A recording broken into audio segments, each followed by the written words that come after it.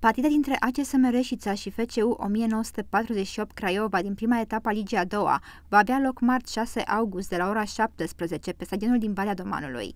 Echipa pregătită de Flavius Stoicani și-a propus ca în acest sezon să prindă play-off-ul, în timp ce formația finanțată de Adrian Mititelu, care a retrogradat din Superliga în sezonul trecut, are ca obiectiv clar revenirea în primul eșalon. Deși echipa din Bănie este favorită, Reșița a demonstrat în sezonul trecut că este o echipă puternică acasă care nu a pierdut cu Stoican pe bancă.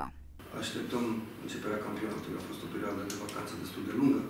Am făcut un cantonament în care am pus accent mult pe, pe pregătirea fizică, pe lucrurile tehnico-tactice, moralul jucătorilor, încrederea care a trebuit să le ofer.